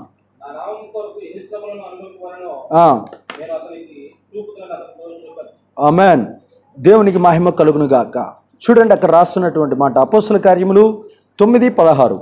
ఇతడు నా నామము కొరకు ఎన్ని శ్రమలను అనుభవింపవలనో నేను ఇతనికి చూపించుదునని అతనితో చెప్పాను. ఆమెన్. దేవునికి మహిమ కలుగును గాక. పౌలు గారి గురించి ప్రవచనం వస్తుంది అననీయ దగ్గరికి. ఇతడు నా నామము నిమిత్తము అనేక శ్రమలను అనుభవిస్తాడు. క్రీస్తు కొరకు అధికంగా శ్రమ పడతాడనే సాక్ష్యము ఎవరి దగ్గర నుంచి వచ్చింది? ఏసీ దగ్గర నుంచి వచ్చింది. ఎవరి దగ్గరకు వచ్చింది? అననీయ దగ్గరకు వచ్చింది. అననీయ అంటున్నాడు ప్రభు దూషకుడు హింసకుడు హానికరుడయ్యా పౌలు ఆయనకి బాప్తీసం ఏమంటావేంది అని అంటున్నాడు. నీకెందుకయ్యా పో అతను నేను అన్యజనులు ఎదుట ఒక వెలుగ్గా వాడుకోబోతున్నాను. పోయి ఆయన్ని ఆయన నా కోసం నా నామం కోసం అనేక శ్రమలు అనుభవించబడుతున్నాడు పోయి బాప్తీసమయ్యే పరిశుద్ధాత్మ పొందుకునేటట్లు చెయ్యి అని చెప్తున్నాడు. ఆ మాటకి అననీయ గారు ఏం చేశాడు? పోయాడు. పోయిన తర్వాత బాప్తిసం ఇచ్చాడు. బాప్తిసం తీసుకున్నాక పరిశుద్ధాత్మను పొందుకున్నాడు. పొందుకున్న తర్వాత ఆత్మకార్యాలు అద్భుతాలు సూచక్రియలు పౌలు గారు ఆ రోజు నుంచి చేయటం మొదలుపెట్టాడు. హలలోయ పౌలు గారు ప్రపంచవ్యాప్తంగా అనేక దేశాలు అనేక రాజధానులు అనేక పట్టణాలు తిరిగి దేవుని యొక్క సంఘానికి పునాదులు ఇచ్చాడు. క్రీస్తు సంఘం ఈ రోజున ప్రపంచంలో ఉంది అంటే కారణం ఎవరయ్యా అంటే క్రీస్తు ఎరుసలేములో వేస్తే పౌలు గారు ప్రపంచంలో ఉన్న అనేక పట్టణాల్లో వేశాడు. హలలోయ ప్రపంచంలో ఉన్న అనేక దేశాలు తిరిగి ఓడ ప్రయాణాలు చేసి అనేక ప్రయాణాలు మూడు రకాలైన ప్రయాణాలు చేసి అనేక పట్టణాల్లో క్రీస్తు సంఘాలు స్థాపించాడు. అన్ని జనులు లోకమంతా ప్రపంచం అంతా ఉంటే వాళ్ళు తెలియని వాటిని ఆరాధిస్తుంటే పర్వతాలను ఆరాధిస్తుంటే లోకంలో ఉన్న వాటిని ఆరాధిస్తుంటే లోకంలో ఉన్న చెట్టుని పుట్టని గుట్టని రాళ్ళని రప్పలని సూర్యుని చంద్రుడిని గ్రహాలను నక్షత్రాలను ఆరాధిస్తుంటే ఈయన పోయి పౌలు గారు అనేక దెబ్బలు తిని అనేక హింసలు అనేక రకాలైనటువంటి ఘోరమైన శ్రమల మధ్యలో ఆ తర్వాత బూతుల మధ్యలో ఎన్నో రకాలైనటువంటి కొట్లాట్ల మధ్యలో రాళ్ళ దెబ్బల మధ్యలో ఎన్నో రకాలైనటువంటి శ్రమల మధ్యలో క్రీస్తు సామ్రాజ్యాన్ని స్థాపించాడు. హలలోయ కొడు చెప్పలు గడిగా దేవునికి మహిమ కలుగును. నీకు ఒక్క శ్రమ వస్తే ఏం చేస్తావు తెలుసా? బ్రదర్ నన్ను అట్లా అంటున్నారు బ్రదర్. నేను చర్చికి రాను బ్రదర్. బా ఏంటమ్మా? నీకు కోటి కొబ్బరికాయలు కొట్టునుకున్నా కాక. నిన్ను కుప్పల్లో ఊరేగించుతారు కాక గాడిద మీద. అర్థమవుతుందమ్మా? ఒక్క చిన్న శ్రమకి ఒక చిన్న శోధనకి నువ్వేమంటావు తెలుసా? బ్రదర్ నన్ను బొట్టు తీస్తేనే తిడుతున్నారు బ్రదర్. గాజులు తీస్తే మా ఆయన కొడుతున్నాడు బ్రదర్. నన్ను అలా అంట ఇలా అంటున్నాడు బ్రదర్ అని అంటావు. మరి ఆయన ఏం తీసుకున్నాడు? రాళ్ళతోటి తర్వాత రాళ్ళతోటి కొట్టబడ్డాడు తర్వాత ఇంకా కర్రలతో కొట్టబడ్డాడు కొరడాలతో కొట్టబడ్డాడు. చివరికి పౌలు గారు ఎలా చనిపోయాడో తెలుసా? శిరఛేదం చేయించబడ్డాడు. ఇంకా అర్థం చేసుకోండి ఇంకా ఎన్ని దెబ్బలు ఎన్ని రకాలైన తిట్లు ఎన్ని రకాలైన బూతులు ఎన్ని రకాలైన జుట్టు పీకటాలు ఎన్ని రకాలుగా ఉమ్మి వేయబట్టాలు ఎన్ని రకాలుగా సిలువ వేయబట్టాలు ఎన్ని రకాలుగా కొట్టించబడటాలు ఎన్ని రకాలుగా ఆ యొక్క రాజుల యొక్క సింహాసనం ఎదుటకి న్యాయాధిపతుల దగ్గరికి ఈడ్చుకొని లాక్కొని పోవటాలు ఎన్ని జాగరణలు ఎన్ని రకాలైన ఉపవాసాలు ఎన్ని రకాలైన కన్నీళ్ళు ఎన్ని రకాలైన ఉపద్రవాలు ఎన్ని రకాలైన సముద్ర ప్రయాణాలు ఎన్ని రకాలైన గాలి తుఫానులు ఎన్ని రకాలైనటువంటి అవమానాలు ఎన్ని రకాలైన నిందలు ఎన్ని రకాలైన శ్రమలు నానా రకాలైన హింసలు ఇవన్నీ ఒక్కడు భరించాడండి. ఎవరి కోసం? క్రీస్తు కోసం. ఆయన ఏం చెప్పాడు పరలోకంలో నుంచి? అననయాకి ఇతడు నా నామము నిమిత్తము అనేక రకాలైన శ్రమలు హింసలు నిందలు. నువ్వు బొట్టు తీయమంటే గాజులు తీయమంటే లేకపోతే బ్రదర్ వైట్ డ్రెస్ వేసుకొని రండి బ్రదర్ అంటే నీకు ఎంత కష్టమో ఆ అసలు ఎంత బాధో. కొంతమంది బోధకులు చెబుతారు ఆ బోధకులు వాక్యాలన్నీ వింటాం. బ్రదర్ ఫలానా పాశ్రమ ఈ పెట్టుకుందిగా బ్రదర్? అని మళ్ళీ నా దగ్గరికి వచ్చేవటం అంటే ఆ పాస్ట్రమ్మ లిఫ్ట్కి వేసుకుంటే వీళ్ళు కూడా వేసుకోవచ్చు. ఆ పాస్ట్రమ్మ గాజులు వేసుకుంటే టీవీలో వచ్చే పాశ్రమలు ఉంటారు కదా ఛానల్స్లో టీవీ ఛానల్స్లో వాళ్ళని చూడటం. బ్రదర్ వాళ్ళు వేసుకున్నారు కదా బ్రదర్ ఆమె బలంగా వాడబడుతుంది కదా బ్రదర్ అవునమ్మా బలంగానే వాడబడుతుంది. ఒకరోజు ఒక అమ్మాయికి దేవుడు కల్లో వచ్చి చెప్పాడంట ఏమంట శంకిశరణ అమ్మా మొత్తాన్ని వదిలిపెట్టరా అమ్మా అన్నాడు. నాకు ఇష్టరాలుగా ఉండాలంటే నువ్వు మొత్తాన్ని వదిలిపెట్టాను ఆ అమ్మాయి వచ్చి నన్ను అడిగింది. నేను పోయి ఆ అమ్మాయికి చెప్పిన అమ్మ నన్ను అడగటం కాదు మీ ఆయన్ని అడుగు అన్న. అన్నడా అనలేదా? అన్న. అన్న తర్వాత ఆ అమ్మాయి వచ్చింది అడిగింది తీసేసి. అంటే దేవుడు ఏం చెప్పాడు దర్శనం? నాకు నువ్వు ఇష్టరాలుగా ఉండాలంటే ఇవన్నీ లోకంలో కల్పించిన కల్పన కల్పనా కథలు నీ మీద ఏమి ఉండకూడదమ్మా. నువ్వు దేవదూతలాగా ఉండాలి కాబట్టి ఏటిని ధరించుకోగాకమ్మా అని చెప్పాడు. మళ్ళీ పాస్టర్లు ఏదోటి ఫేస్బుక్లోనో వాట్సాప్లోనో ఏదో ఒకటి చూపియానే మళ్ళీ నువ్వు కలవరపడి మళ్ళీ నువ్వు టెంప్ట్ అయ్యి మళ్ళీ నువ్వు మళ్ళీ బా నువ్వు మళ్ళీ లోకానికి వాటికి భయపడి అమ్మ వాళ్ళు వీళ్ళు దూషిస్తున్నారని చెప్పి మళ్ళీ ధరించుకుంటే మేమేం చేయాలి? పిరికి వారు దేవుని రాజ్యాన్ని స్వతంత్రించుకోలేరు. ఏసయ్య కోసం నిలబడలేని వాడు పరలోకం రాజ్యానికి అనర్హుడు. ఈ మాట ఏ దైవజనుడు చెప్పడు. ఎందుకు చెప్పడయ్యా అంటే ఇంత కఠినమైన బోధ చెబితే మందిరానికి జనాలు రారు.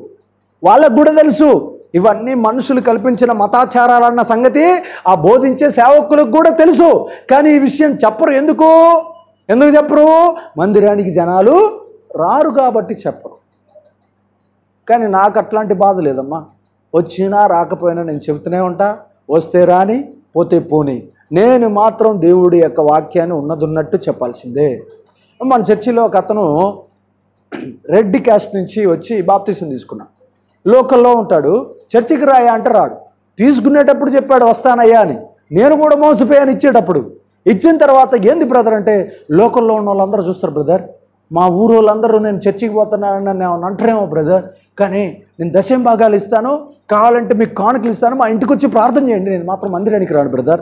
బ్రదర్ నీకు వందనాలు బ్రదర్. నువ్వు పరలోకం ఎట్టా రావు కాబట్టి నాకు నీ యొక్క డబ్బు కూడా అవసరం లేదు బ్రదర్. ఆమెన్. అర్థమైందా బ్రదర్? ఎందుకు ఆ మాట చెప్తున్నాను తెలుసా? మనోడు కొనేస్తున్నాడు సేవకుణ్ణి. సేవకుణ్ణి కొనేసిన పరలోకాన్ని కొనలేవురా బిడ్డ. దేని కొనలేవు? సేవకుని కొంటావేమో కానీ పరలోకం మాత్రం మీ తాతది కాదు మా తాతది కాదు. అది ఏసేది. హలలోయ నువ్వు ఖచ్చితంగా పరలోకం రావాలంటే నువ్వు ఈ లోకంలో ఉన్న మనుషులందరి ఎదుట యేసు ప్రభువారే నిజమైన దేవుడని ఒప్పుకోవాలి. మరి ముఖ్యంగా నీ క్యాస్ట్ దగ్గర ఒప్పుకోవాలి. లేకపోతే దేవుడు తండ్రి ఎదుటను దేవదూతల ఎదుట నిన్ను అసలు ఒప్పుకొనే ఒప్పుకోడు. రేపొద్దున పరలోకం రాగానే పరలోకం రాగానే నువ్వు అమ్మా లేకపోతే నిస్సి తీసుకుందాం. ఒక ఐదు నిమిషాలు నిశ్చయం తీసుకుందాం.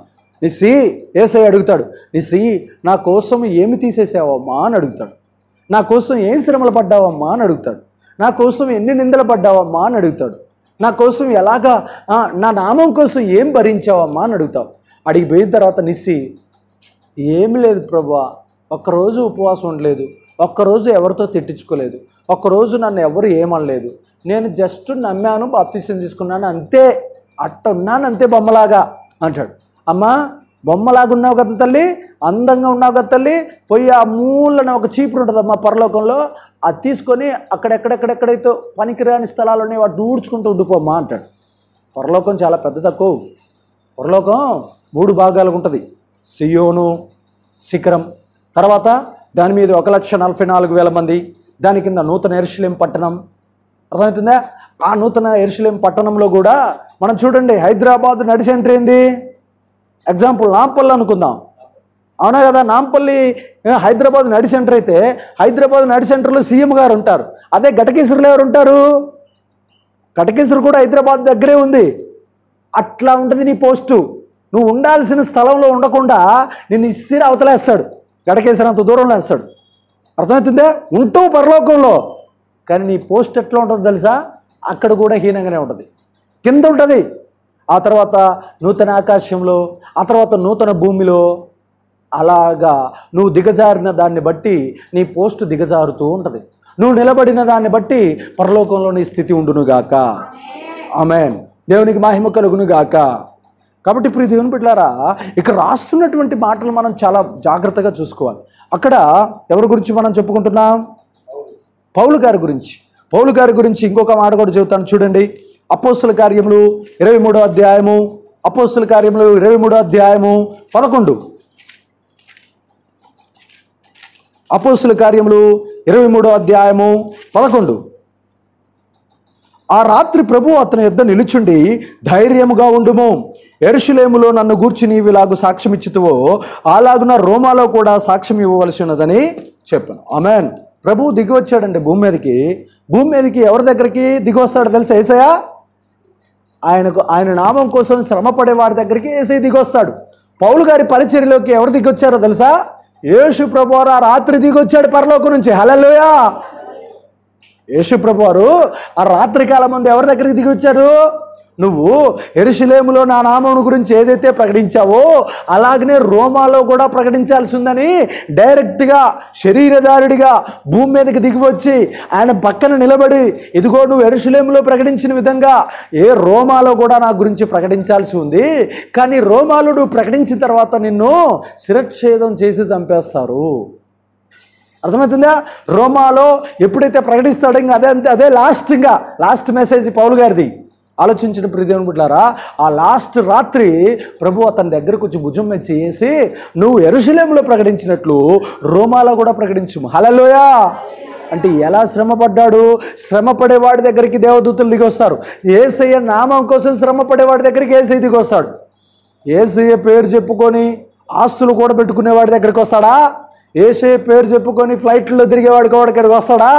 ఏసయ్య పేరు చెప్పుకొని నూనె డబ్బాలు అమ్ముకునేవాడి దగ్గరికి వస్తాడా? ఏసీ పేరు చెప్పుకొని కచ్చీపులు అమ్ముకునేవాడి కాడికి వస్తాడా? ఏసీ పేరు చెప్పుకొని వ్యాపారాన్ని పుస్తకాన్ని ముప్పై రూపాయలకు ప్రింట్ చేపించి వందకి రెండు వందలకి ఐదు వందలకి అమ్ముకునేవాడి కాడికి వస్తాడా? యేసు ప్రభు వారి పేరు చెప్పుకొని మెడికల్ షాపులో మెడిసిన్ అమ్ముకునేవాడి కాడికి వస్తాడా? ఎవరి దగ్గరికి వస్తాడండి ఏసయ్య? యేసు ప్రభు వారి పేరు చెప్పుకొని చెప్పులు వేసుకొని తిరిగి సువార్తన మందిరంలో చెప్పులు వేసుకొని తిరిగేవాడి దగ్గరికి వస్తాడా? ఎవరి దగ్గరికి వస్తాడండి దేవుడు? ఒక రోజున ఒక సంగీత పరిచర్యకి ఒక సేవకుని పిలుద్దామంటే యాభై వేలు పిఏతో మాట్లాడిస్తాడు. లేకపోతే ఒక సేవకుని మంచి ఉద్యోగం కలిగిన సేవకుని పిలుద్దామంటే మనోడు మంచిగానే మాట్లాడతాడు ఆత్మీయంగా. పక్కనోడికి పిఏకి ఫోన్ ఇస్తాడు యాభై వేలు లక్ష రూపాయలు డిమాండ్ చేస్తాడు. ఫ్లైట్ ఛార్జీలు కావాలంటాడు అవి కావాలంటాడు ఇవి కావాలంటాడు. నువ్వు క్రీస్తు కోసం పనిచేస్తున్నావా ధనం కోసం పనిచేస్తున్నావా అంటే నువ్వు వచ్చేటప్పుడు దానికి సంబంధించి నీ ప్రజలు సమకూర్చరని నీకు తెలవదా? సమకూరుస్తారు ఆమెన్. నీ కాస్ట్ ఏందో వాళ్ళకి ఆల్రెడీ తెలుసు. అది ఇస్తారు. నువ్వు అడగాల్సిన పని లేదు. కాబట్టి ప్రీదేవుని బిడ్డలారు ఆలోచించండి. నువ్వు డిమాండ్ చేస్తే ఏమవుతావో తెలుసా? నీ బహుమానాలన్నీ కోల్పోవాల్సి వస్తుంది పరలోకంలో. అది గుర్తుపెట్టుకో ప్రీదేవుని బిడ్డ. కాబట్టి మన జీవితాల్లో మనం తెలుసుకోవాల్సింది ఏందో తెలుసా? అక్కడ పౌలు గారు చాలాసార్లు మన జీవితంలో చెబితే చేస్తాం. చెప్పకుండా చేసుకుంటూ వెళ్ళిపోతున్నాడు పౌలు గారు. హలలోయా దేవునికి మహిమ కలుగును గాక. నన్ను పిలిచింది ఎందుకో తెలుసా? నన్ను ఎవడో పిలిస్తే పోయి సేవ సేవ చేయడానికి కాదు నేను పోయి వచ్చింది. నన్ను పిలవకపోయినా నేను పోయి సేవ చేసేదని కాక నా జీవితంలో రోజుకి ఇద్దరు ముగ్గురు ఫోన్ చేసి పిలుస్తారు. మరి మిగతా టైం అంతా నేనేం చేస్తాను తెలుసా? నన్ను పిలవని వెళ్ళకపోయి నేను సేవ చేస్తాను. హలలోయా అన్నజనులు కొన్ని కోట్ల మంది నశించిపోతున్నారు. రోగాలతో వ్యాధులతో దయ్యాలతో మానసికమైన వ్యాధులతో చాతబడి శక్తులతో భయంకరమైనటువంటి వ్యసనాలతో ఇటుతో మగ్గిపోతున్నారు. నన్ను పిలిచేది ఇద్దరు ముగ్గురు ఐదుగురు పిలుస్తారు రోజుకి. కానీ నన్ను పిలవడం వాళ్ళు ఎంతమంది ఉన్నారో తెలుసా? సుమారు ఎనభై కోట్ల మంది ఉన్నారు. ఆ ఎనభై కోట్ల మంది కుటుంబాలకు నేను వెళ్ళేదను గాక. ఆమెన్. ఇప్పుడు దేవుని బిడ్డలా నీ జీవితంలో నా జీవితంలో దేవుడు నన్ను పిలిచింది ఎందుకు? నా పని చేయరా బాబని నన్ను పిలవలేదు బ్రదర్ చాలామంది సేవకులు ఇంట్లో కూర్చుంటారు. ఏంటి బ్రదర్ నేను ఘనమైన సేవ చేస్తాను బ్రదర్ ఏంటి ఘనమైన సేవ? అంటే నన్ను పిలిస్తే పోతాను బ్రదర్ పిలవకపోతే పోడంటాడు. అరే నీచాతి నీచుడా నిన్ను పిలిచిందే ప్రపంచంలో కోత విస్తారంగా ఉందిరా. పోయి కొయ్యిరా అని పిలిచాడు రా నాయన. నువ్వు ఇంకా ఏం చేస్తున్నావు? నన్ను పిలిస్తే పోతానంటున్నావు చేపలు పట్టడానికి మనము సముద్రం దగ్గరికి వెళ్ళాలా? చేపలు మన ఇంట్లో కురికొస్తాయా సముద్రం దగ్గరికి పోవాలి వల నువ్వు సిద్ధపరచుకోవాలా? వల ఆటోమేటిక్గా పరిగెత్తుకుంటూ నీ కాడికి వస్తుందా? మనం సిద్ధపరచుకోవాలి. చేపల తిండి కోసమైతే సముద్రం దగ్గరికి వెళ్తున్నావు కానీ ఆత్మలు రక్షించడం కోసం ప్రజల దగ్గరికి పోవా? బా ఏమి తెలివితేటలరా నాయన. నిజంగా దైవజనులు నిజంగా ఎంత తెలివితేటలో కలిగిన వాళ్ళు ఈ సిటీలోకి వచ్చినాక నాకు అర్థమైంది. ఎక్కడ ఎక్కడ గిఫ్ట్ ఇస్తారో అక్కడ ఎక్కడ మాంసం పెడతారో అక్కడ ఎక్కడైతే టికెట్కి లేకపోతే ఛార్జీస్ ఇస్తారో టీఏడిఏ అంటారు అవి ఇస్తారో అక్కడ వీళ్ళందరూ ఉంటారు వాళ్ళు అక్కడే ఉండాలి. నేను మాత్రం మొత్తం తిరుగుతాను. ఒక దురాత్మ ఎంత వేగంగా పరిచయం చేస్తుందో ఒక దేవదూత ఎంత వేగంగా అయితే పరిచయం చేస్తుందో నేను బ్రతికుండగా అంత వేగంగా పరిచయం చేసేదని కాక. ఆమె నిజం చెబుతున్నా అంత వేగంగా మనం చేయాలి.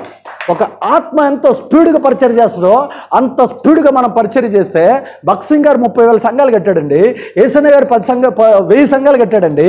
ఆ సంఘాలు మనం మనతోటి ఎందుకు కట్టాడు మన దేవుడు? ఖచ్చితంగా మన ద్వారా కట్టించును గాక. నువ్వు ఆ మీటింగ్లు తిండి మీటింగ్లకి లేకపోతే డబ్బుల మీటింగ్లకి లేకపోతే ఎవరో రాజకీయ నాయకుల మీటింగ్లకి కాదు నువ్వు పోవాల్సిందే. ఆత్మలు ఎక్కడైతే ఉన్నాయో సినిమా థియేటర్ల కాడ ఎప్పుడైనా నిలబడ్డా? ఎన్ని ఆత్మలు నశించిపోతున్నాయో ఎన్ని ఆత్మలు సినిమాల లోపలికి వెళ్తున్నాయో సినిమా హాల్లోకి వెళ్తున్నాయో ఏ రోజైనా క్లబ్ దగ్గర ఉన్నా ఏ రోజైనా పబ్బు దగ్గర పబ్బు దగ్గర ఉన్నా ఏ రోజైనా నీ జీవితంలో ఏ రోజైనా రాజకీయ ఒక మీటింగ్కి వెళ్ళి చూస్తే చూడు రాజకీయానికి ఎంతమంది బానిసలయ్యారో ఒకసారి ఉప్పల్ స్టేడియానికి వెళ్ళి చూడు ఉప్పల్ క్రికెట్కి ఎంతమంది బానిసలై ఉన్నారో అంటే నీ కళ్ళు కనబడతలేదా? నీ కళ్ళు ఎవడని తీసుకుపోయాడా? ఆలోచించుంటే ప్రతి దేవుని బిడ్డలారా కొన్ని కోట్ల మంది నశించిపోతుంటే నన్ను పిలవలేదు బ్రదర్ అంటారండి పిలిచేదేంద్రా బాబు?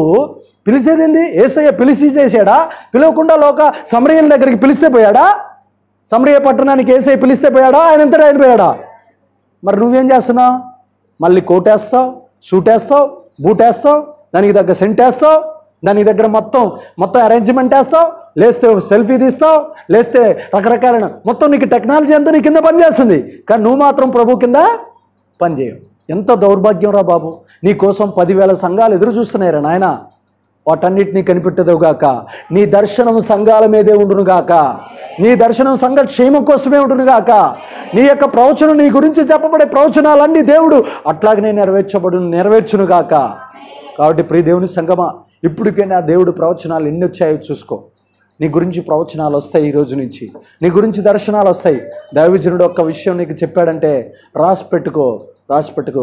నిన్నటి రోజున నేను పురుషుల కూడికి అయిపోయినాక ఇక్కడ పడుకున్నా. అక్కడ ఒక అబ్బాయి వచ్చి ఏడ్చి ప్రార్థన చేస్తున్నాడు. ఇక్కడ నేను చెప్పి చెప్పి వాక్యం చెప్పి అలసిపోయి ఆడ పడుకుంటే దేవుడు నాతో మాట్లాడుతున్నాడు. ఆ తమ్ముడు కఠినమైన బాధలో ఉన్నాడు. అప్పుల్లో మధ్యలో నలిగిపోతున్నాడు. అతని దగ్గరికి వెళ్ళి పలకరించి అతని కోసం ప్రార్థన చేయన్నాడు ఆ తమ్ముడు ఒక ఏఎస్ఐ కొడుకు ఏఎస్ఐ అసిస్టెంట్ సబ్ ఇన్స్పెక్టర్ కొడుకు. కానీ మనోడు ఫ్రెండ్స్ దగ్గర అప్పులు చేశాడు. అప్పులు చేసి అది మనోడు తీసుకుంది ఇరవై వేలు అయితే ఫ్రెండ్స్ మొత్తం దాన్ని కలిపి రోజుకు ఐదు వందలు వడ్డీ పెంచి డెబ్బై వేలు చేశారు. అయ్ టైం అయిపోతుంది. చెప్పిన టయానికి ఇవ్వలేదు. ఈరోజు ఐదు వందలు అని "ఆ, ఇస్తారా? "ఆ, సరే వేసేరా? వేసేరా? వేసేరా? అంటాడంట. అట్లా దాన్ని డెబ్బై వేలు ఇచ్చాడు ఇప్పటికి మనోడు ఎంత తీర్చాడు తెలుసా? సుమారు యాభై ఏడు వేలు తీర్చాడు. ఎన్ని వేలు తీర్చాడు అట్లా? యాభై వేలు. తండ్రికి తెలియకుండా తల్లికి తెలియకుండా దొంగసాటిగా మరి దొంగతనం చేస్తేనే వస్తాయి డబ్బులు. ఇంకా వేరే ఆప్షన్ లేదు. ఎందుకురా అని అడుగుతారు తల్లిదండ్రులు. అడిగినప్పుడు అన్ని గొంతులో ఉన్న గొంతెమ్మ కోరికలన్నిటినీ మింగుకొని అప్పు కడుతున్నాడు. తమ్ముడు మరి ఎందుకు అప్పు చేసావని అడిగాను. ఏం లేదన్నా మా ఫ్రెండ్స్కి కొంచెం ఇబ్బంది ఉంటే నేను మధ్యవర్తిగా ఉండి సహాయం చేశాడు. ఆ ఫ్రెండ్ తీసుకున్నాడు ఇట్లా మధ్యలో మనోడు బలైపోయాడు. మధ్యలో మనోడు బలైపోతాడు. అక్కడ కూర్చొని ఏడుస్తూ ఏడుస్తుంటే ఆ ఏడుపు మనకు అర్థం కాలే నేను నిద్రలో ఉన్నా? కానీ దేవుడు నాతో మాట్లాడుతున్నాడు. అతని దగ్గరికి వెళ్ళి మాట్లాడు. అతని కోసం ప్రార్థన చేయని చెప్పి. దేవునికి మహిమ కలుగును గాక. అయితే ఇంకా లాస్ట్కి నేను ఏం చేశాను తెలుసా? ఎవడైతే గంటకు పది ఇరవై సార్లు ఫోన్ చేసి బెదిరిస్తున్నాడో వాడి నెంబర్ తీసుకున్నా. నెంబర్ తీసుకొని బ్రదర్ నేను వాళ్ళ అన్ననే మాట్లాడుతున్నాను. నువ్వు గినక ఇంకోసారి ఫోన్ చేస్తే స్టేషన్కి వెళ్ళాల్సి వస్తుందన్నా చెప్పగానే మనోడు నోరు మూసాడు హలోయా దేవునికి మూసి మహిమ కలుగును గాక. అతడికి పదహారో తారీఖు దాకా ఎగ్జామ్స్ ఉంటాయి. ఆ పదహారో తారీఖు దాకా నువ్వు ఫోన్ కనుక చేసావంటే వాళ్ళ నాన్నకి చెప్పి నేను జైల్లో వేపిస్తానని చెప్పి. చీటింగ్ చేస్తున్నాడు మనోడు. డెబ్బై వేలు ఎట్లా చేసావురా అని అడిగితే అదేం బ్రదర్ తీసుకునేటప్పుడేమో అట్లా అడుగుతారు. అవసరానికి వస్తే మా అమ్మాయి మమ్మల్ని మా దగ్గర తిరగబడతారు? అంటున్నాడు. తిరగబట్టం కాదు. నిన్ను పద్నాలుగేళ్ళు జైలు వేపిస్తా. అసలు లేనిపోని కేసులు కూడా వేపిస్తా. నువ్వు ఏం దోపిడీ చేస్తున్నావు నీ ఫ్రెండ్ నీ క్లాస్మేట్ని నువ్వు రోజుకి ఐదు వందలు వడ్డీ తీసుకుంటా. ఎంత దౌర్భాగ్యం అండి. ఎప్పుడు అంటున్నాడు బ్రదర్ వాళ్ళని స్నేహితులు అనుకున్నాను వాళ్ళని మోసగాళ్ళు బ్రదర్ అని. ఆ ఏడుపుకి అంతమేందో తెలుసా? అది తీర్చలేకపోతే మన పోయి చచ్చిపోవాలనుకుంటున్నాడు. అర్థమవుతుందా? అది మరణానికి నడిపిస్తుంది. దేవుడు నా ఎదురు అతను నా ఎదురుగానే ఉన్నాడు నేను అతన్ని వివేచించట్లా. వస్తున్నాడు యవనసుడు యవన యవనసులు కూడికి వచ్చాడేమో అనుకుంటున్నాం. కానీ అతని ఏడుపు మనకు అర్థం కాల నిద్రపోతుంటే నిద్రలో మాట్లాడుతున్నాడు ప్రభు. అతను మాట్లాడే అతని గురించి నేను ప్రార్థన చేయన్నాడు ప్రార్థన చేశాను. ఆ భారం మొత్తం దిగిపోయి అతనితో మాట్లాడిన తర్వాత ఇంటికి వెళ్ళి మంచిగా చదువుకుంటున్నాడండి. హలోయా దేవునికి మహిమ కలుగున. ఆ భారం ఆ టార్చరు ఆ మరణ వేదన ఉన్నప్పుడు ఏమైనా ఎగ్జామ్ రాస్తాడండి? ఆ ఎగ్జామ్స్ తప్పిన తర్వాత ఇంట్లో తల్లిదండ్రులు ఏమంటారు? ఏమంటారు? ఎందుకు తప్పినావని మళ్ళీ వాళ్ళు కొడతారు. ఏం చేయాలి మరి మనోడు? బీటెక్ చేస్తున్నాడు. ఆలోచించండి ప్రీదేవుని బిడ్డారా అసలు నేను ఊహించలేదు. ప్రభు నాతో మాట్లాడతాడని కూడా నాకు తెలియదు మందిరంలో నా పనిలో నేను అలసిపోయి పడుకుంటే ప్రభు నన్ను లేపి అతను ప్రార్థన చేయని చెప్పాను ప్రతి దేవుని బిడ్డలారా చూడండి నీ గురించిన ప్రవచనాలు దర్శనాలు నీ గురించిన ప్రత్యక్షతలు నీ గురించిన మర్మం. ఒక రాత్రి నేను నా గదిలో పడుకునేది భార్యాభర్తలు ఇద్దరు ఆ దర్శనంలో వచ్చి కాళ్ళ మీద పడి ఏడుస్తున్నారు. నా మేము అప్పులతో నలిగిపోతున్నాం. మేము చచ్చిపోవాలనుకుంటున్నాం మా కోసం ప్రార్థన చేయి. అప్పటికప్పుడు లేచి నైట్కి నైట్కి పోయి ఇంటికి మా నీ మీ గురించి ఇట్లాంటి దర్శనం వచ్చింది నాకు. ఏంటి మీ స్థితి? ఏంది మీరు ఇలా ఉన్నారంట? అని అంటే అవునన్నా నిజమే. మేము మరణానికి అప్పగించుకోవాలనుకుంటున్నాం. ఐదు లక్షల అప్పు ఉంది. ఎన్ని లక్షల అప్పు ఉందట? ఐదు లక్షల అప్పు ఉంది. మీకేమి కాదు. అప్పును దేవుడు తీర్చేస్తాడు. హలోయా దేవునికి మహిమ కలుగును కాక ప్రవచనాలు ఆ దర్శనాలు ఆ ప్రత్యక్షతలు లేవు అని అంటే నీకు కనబడవు. ఉన్నాయంటే నువ్వు చూస్తావు. విశ్వాసంతో ఉన్నాయని పలుకు ఖచ్చితమైన చూస్తావు. ఇలా కోకుళ్ళలో అండి కోకుళ్ళల దర్శనాలు అనేక రకాలైన ప్రవచనాలు అనేక రకాలైన ప్రత్యక్షతలు ఇవన్నీ దేవుడి దగ్గర కూర్చుంటే ఇస్తాడు. వాటిని రాసి పెట్టుకో. నీ జీవితంలో నీకు తగ్గుతుంది అని చెప్పాడా? నీకు తగ్గుతుంది అంతే. నిన్ను ఎవ్వరు ఏమీ చేయలేదు మరణము కూడా నిన్నేమీ చేయలేదు బ్రతుకుతాడు అని చెప్పావా? బ్రతుకుతాడు అంతే. చెప్పాడా దేవుడు? దేవుడు పర్మిషన్ ఇవ్వాలి. నువ్వు చెప్పకూడదు. దేవుడు నీకు చెప్పాలి. బ్రతుకుతాడు అంతే అవి బైబిల్లో చాలా ఉన్నాయండి. అవన్నీ చెబితే ఒక ఆరు రిఫరెన్స్లకే గంట పట్టింది. ఇంకా అరవై రిఫరెన్స్లు ఉన్నాయి ప్రవచనాల గురించి. అవన్నీ చెప్పాక గంటలు గంటలు పట్టుంది కాబట్టి వాటన్నిటిని భవిష్యత్తులో మీ అందరికీ వివరించదనగాక దేవుడి మాటలు దీవించి స్థిరపరిచి వర్ధలింప చేయనుగాక ఆమె ప్రార్థన చేసుకుందాం.